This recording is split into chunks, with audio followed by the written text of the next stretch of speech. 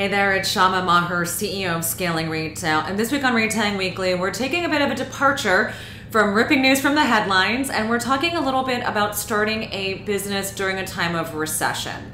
Now, many of you guys have been concerned about what it means to grow your business during an economic downturn, or whether or not you should even be considering launching a business during a volatile time period.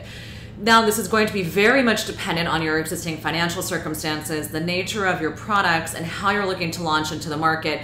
But there are a couple key things that are important to keep in mind as you think about what's ahead for your business or your new business idea. So, number one, as the economic downturn will happen, interest rates will decline and we'll likely see access to cheaper credit. So that means that if your credit's in good standing, if you already have an existing business, being able to borrow against that in order to scale your business might actually end up being very advantageous to you during this time period.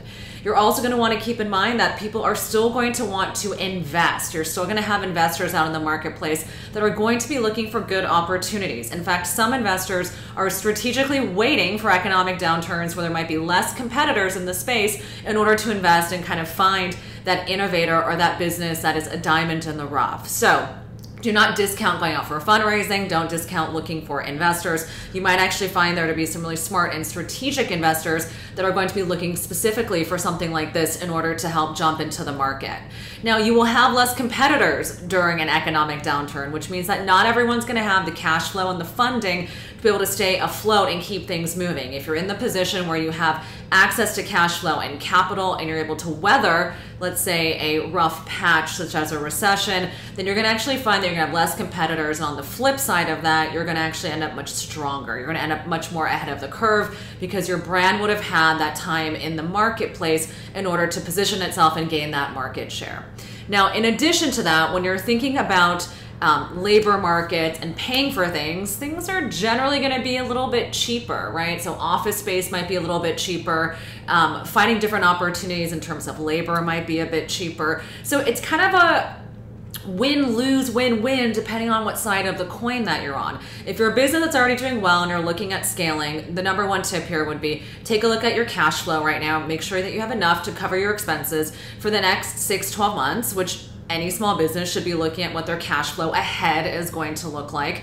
Take a look and see what your current existing positioning is around your lines of credit. See if you're in a healthy credit score, which means that let's say you don't have the cash flow, but your credit is good, you'll be able to borrow against that during this economic downturn. And if you're a small business and you're looking to launch, I would say think very strategically about the kinds of categories and the products that you're launching.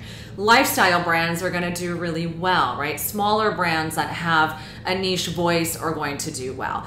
Also, huge brands that are conglomerates are also going to do well as they're able to take advantage of heavily discounting their products. But when you look at the different segments of who's going to be affected during the recession, you're going to find that the top tier luxury brands are going to be pretty much staying the same as they're looking to continue to sell their products and goods to that top, more luxury consumer base. And you're also going to find that people at the more entry price point, the Kohl's, the Penney's, etc., those types of brands are also going to do well. As a brand that might find itself in the middle there, right? So not quite at that entry level, not quite in that advanced contemporary or luxury. That's really where it's going to be the state of your business and the health of your business is going to become the most important, right? How much of the market share do you currently have? And is it worthwhile for you to enter in that market knowing, again, if you don't have the cash flow to sustain yourself off the bat, it's going to be worth it to enter into that price point given some of the challenges that might be coming ahead of you, right? Concerning when it's going to come to financing,